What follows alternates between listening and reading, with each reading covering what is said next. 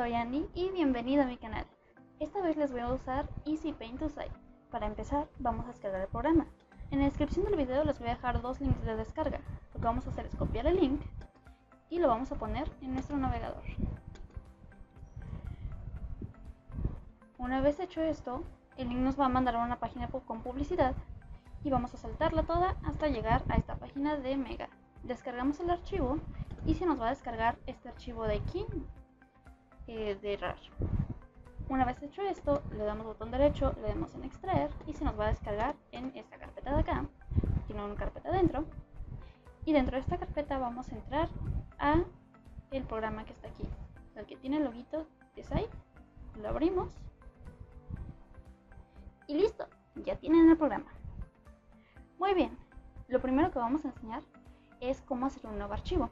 Para eso nos vamos a ir a la ventana de acá arriba que dice archivo y vamos a darle clic en nuevo. Le podemos poner un nombre, yo lo voy a dejar como tutorial. Aquí está el tamaño que queramos ponerle al archivo. Podemos ponerlo en centímetros, píxeles, pulgadas o milímetros. Aquí está qué ancho quieren que sea, qué alto quieren que sea y la resolución. Si el archivo lo van a imprimir, yo recomiendo que pongan la anchura y la altura del papel en el que lo van a imprimir o del tamaño que lo quieran. Y una resolución mínima de 200 o 300 píxeles por pulgada, que es esta resolución de aquí. Yo en este caso lo voy a poner de 10 por 10 centímetros y lo voy a dejar en 200. Le damos en OK y listo, ya tenemos nuestro archivo. Siguiente, lo que les voy a enseñar a utilizar son este menú de acá, que son las capas. Acá arriba podemos ver nuestro archivo, podemos acercarnos, alejarnos o centrarlo. También podemos rotarlo, rotarlo hacia el otro lado o centrarlo. Luego tenemos acá abajo las capas. Las capas tenemos dos tipos, esta de aquí y esta que tiene como una plumita llamada Lineboard. En este caso la Lineboard tiene muchas funciones diferentes a la primera. Esta acá es una como la primera y esta es como la segunda. En la primera podemos ver la pluma, el borrador, bla bla bla. En esta capa yo me gusta llamarlos que son como más o menos como vectores, porque podemos dibujar con ellos gracias al uso del mouse sin utilizar una tableta gráfica. Gracias a estas funciones de aquí como la curva, vamos pudiendo hacer una línea.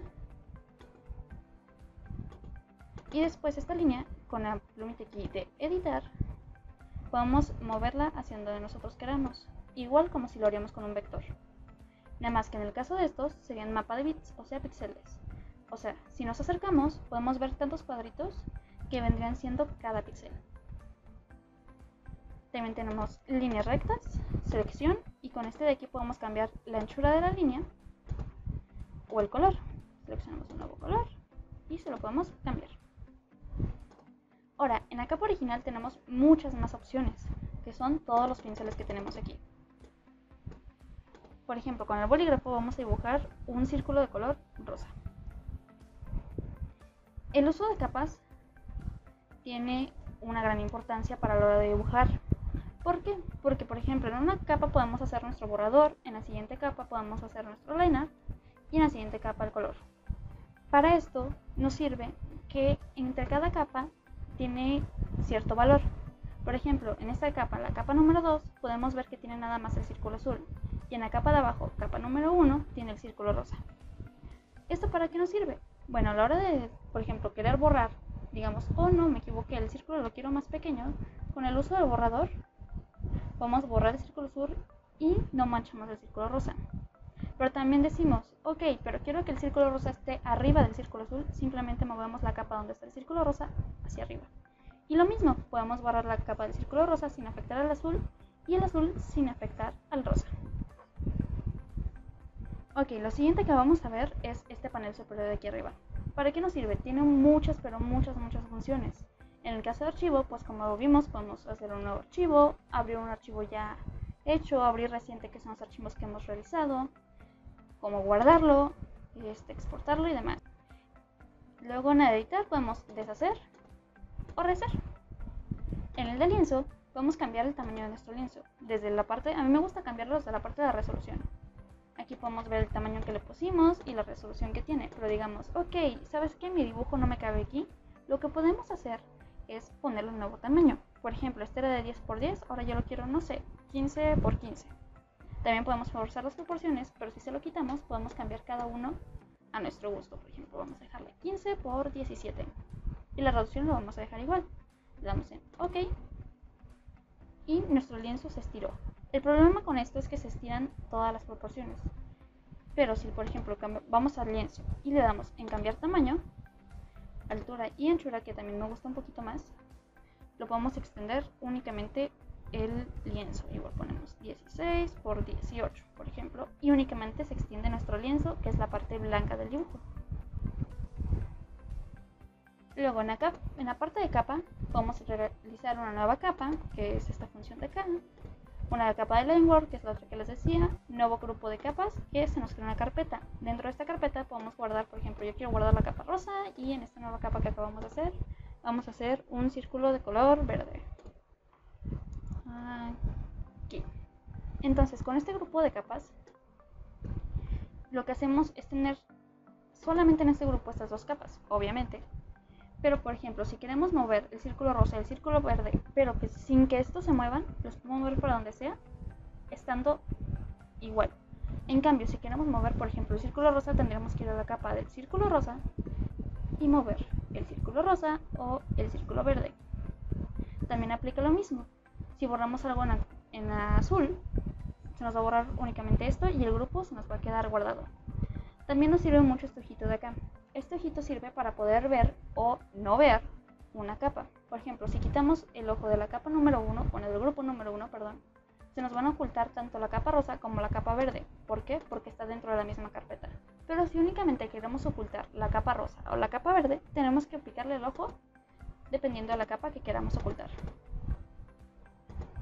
También en el menú de capas podemos borrar una capa, limpiar una capa, fundir una capa. Esto, también, nos sirve, por ejemplo, que, oh no, yo tengo dos capas separadas, quiero que sea una sola. Vamos aquí a capa y fundir hacia abajo. Y listo, nos queda en la misma capa. Esto quiere decir que ya si borramos sobre esos dos círculos, ambos se verán afectados. ¿Por qué? Porque están dentro de la misma capa. También tenemos la opción de mover, fundir, acoplar podemos voltear la capa, como dieron cuenta se giró el círculo verde, o rotarla. En la parte de selección, este en sí, cuando tenemos una selección con esta, por ejemplo, la varita mágica, seleccionamos lo que queremos seleccionar, vaya, y con selección podemos invertirla y que se nos, que se nos seleccione todo lo contrario. Podemos limpiarla o podemos ampliarla o incrementarla. Esto nos sirve cuando queremos hacer una línea alrededor de nuestro dibujo. Una, de las más importantes es esta de filtro. ¿Por qué? Porque tiene la matiz de saturación y el brillo de contraste. Digamos que con la matiz de saturación no nos gusta el color. En este caso, como pueden ver yo tengo la capa verde seleccionada y al moverle el matiz podemos cambiar el color de la capa, pero únicamente de esta. Con la saturación igual qué tanto color queremos o qué tan poco o qué tan brilloso queremos que sea el color o qué tan oscuro. Lo mismo pasa con el brillo en contraste. Qué tan brilloso queremos que sea, qué tan oscuro queremos que sea, qué tan cargado quieren que sea el color o qué tan poco quieren que sea el color. Y lo mismo aquí. Otra de las opciones que tenemos es esta de vista. Esta nos sirve para crear una pequeña capa, bueno, más bien una nueva ventana sobre nuestro dibujo con este botón de aquí podemos minimizar ambas y acomodarlas de la manera en que nosotros queramos. Así podemos ver nuestro dibujo en grande de este lado ir viendo en una área más pequeña, podemos ajustar y así podemos ir viendo cuando nos acercamos mucho al dibujo perdemos dónde estamos. En cambio, al hacer esto, con nuestra vista podemos ver exactamente qué es lo que estamos dibujando en la parte de acá. También, si solamente cerramos una, no importa, nuestro dibujo se sigue guardando. Luego está la opción de ventana y la opción de otros. Aquí vienen los atajos de teclado o las opciones un poquito más sobre el programa. Siguiente, vamos a ver el uso de los colores. El uso de los colores tenemos tanto el círculo cromático, que es este de aquí, en el que podemos ir seleccionando el color que queramos y viendo qué tan claro, qué tan oscuro o el color que nosotros nos gusta. Luego tenemos esta opción de acá, que es el RGB. Esto quiere decir que son los colores rojo, los colores verdes y los colores azules. Qué tan rojo queremos que sea nuestro color, qué tan verde queremos que sea nuestro color o qué tan azul. Por ejemplo, si dejamos todo el azul únicamente y los otros dos lo ponemos en cero, será un azul puro. En cambio, si hacemos lo mismo con el verde, será un verde puro. Después tenemos al HSB, que es prácticamente lo mismo. Este de aquí, que nos sirve mucho para mezclar colores. Por ejemplo, quiero hacer un degradado de este rosa a este gris oscuro. Aquí podemos ver el degradado y nosotros podemos seleccionar qué tan gris o qué tan rosa queremos que sea. Por ejemplo, yo voy a seleccionar más o menos a la mitad. Le ponemos una nueva capa y podemos dibujar encima de esto con el color que hemos seleccionado aquí. Luego tenemos esta parte que es la de muestras. Eh, aquí podemos guardar, por ejemplo, me gustó este color, lo voy a guardar. Le damos botón derecho y le damos en establecer. Si digamos, ya no quiero utilizar este color o ya no lo voy a utilizar y me está robando espacio para un color que yo quiera guardar, igual lo mismo, botón derecho sobre el color y le damos a remover. Este pequeño marco de aquí nos sirve para mezclar colores. Es muy útil a la hora de que utilizamos, por ejemplo, el pincel podemos poner un color aquí y no sé, el color verde y también se nos hace la mezcla del color sin tener que hacerla en la parte de acá. La verdad a esto yo no le encuentro tanta utilidad, puesto que mis mezclas de colores todas las hago en la parte de acá, así que es muy poco cuando utilizo este apartado del color de aquí. Después, debajo de los colores tenemos todas estas opciones de aquí. Las primeras tres son sobre selecciones. Tenemos la selección cuadrada, la selección con lazo o la varita mágica. Con la selección cuadrada podemos seleccionar de forma cuadrada lo que nosotros queramos. Pero si hacemos esto a la hora de querer, por ejemplo, moverlo con estas flechitas de aquí, únicamente va a ser totalmente cuadrado el corte. En cambio, si utilizamos, por ejemplo, la opción de lazo, podemos hacer la figura que nosotros queramos y esta figura es la que se va a mover con la varita mágica, ya se las enseñé hace rato, podemos seleccionar más o menos una selección mágica, vaya. El programa va a definir más o menos qué color tiene cerca de este. Por ejemplo, el rosa. Estamos en la capa rosa, seleccionamos el rosa, el verde o el azul. Como se dan cuenta, no seleccionó, cuando seleccioné la capa verde, no seleccionó nada más. ¿Por qué? Porque esto es únicamente lo que se puede ver como el verde. Si nos acercamos podemos ver que aquí ya hay un pequeño degradado, entonces el programa mismo dice, ok, hasta aquí es este verde que está seleccionando ella. Pero si lo ponemos más a la orilla, podemos ver que solamente nos selecciona el color que está Luego tenemos este que les digo que es para mover, la lupa, que es básicamente para acercar, este que es para rotar, el lienzo, la manita para mover el lienzo si nosotros queramos o el cuentagotas. El cuentagotas es muy útil cuando hacemos también fusiones de colores. Por ejemplo, vamos a fusionar el color rosa con el color verde y hacemos un pequeño degradado.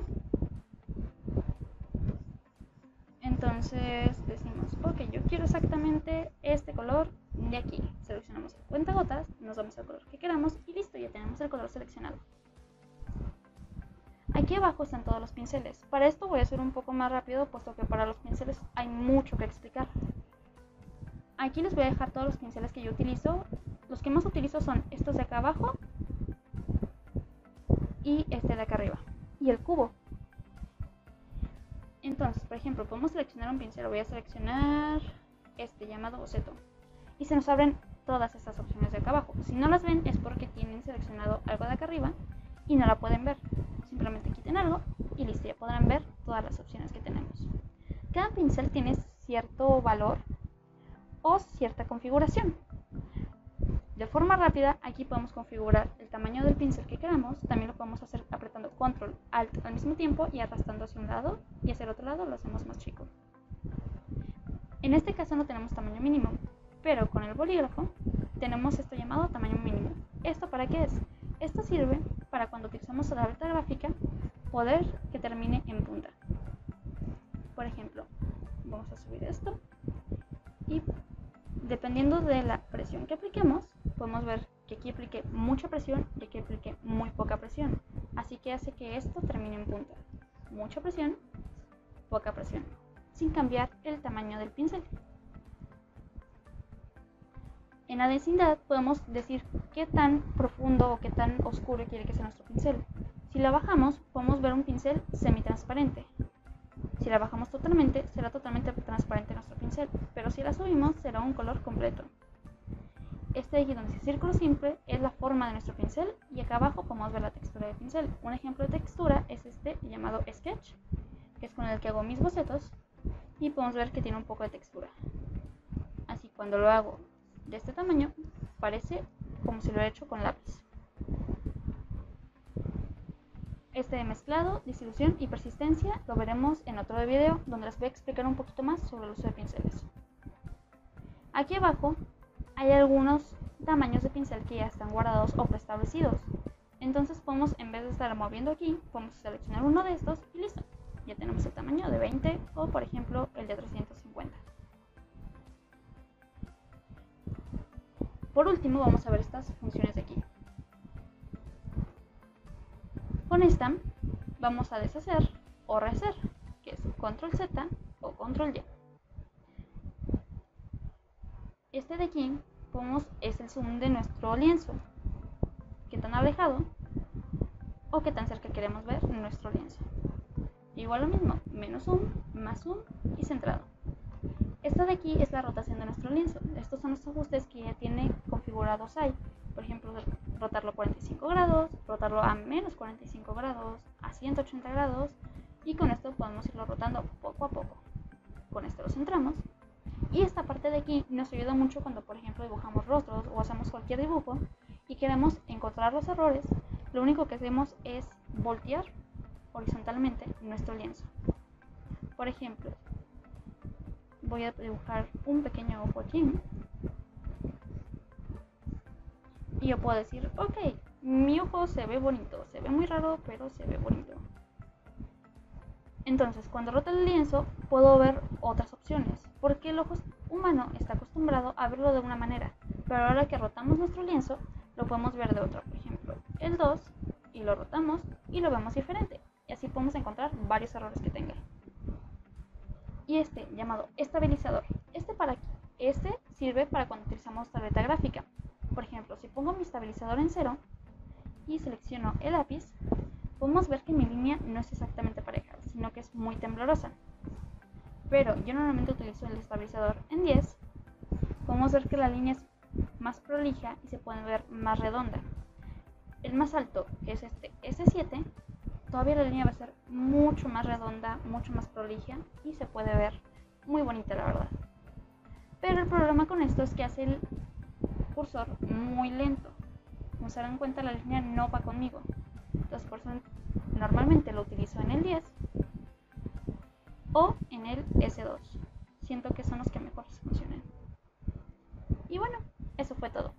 Si les gustó, denle like al video y no olviden suscribirse. Voy a subir pronto el video de los pinceles donde les voy a explicar cómo hacer un nuevo pincel y más configuraciones de estos. Y si les gustan mis trabajos, no olviden regalarme un café, me ayudaría mucho. Gracias.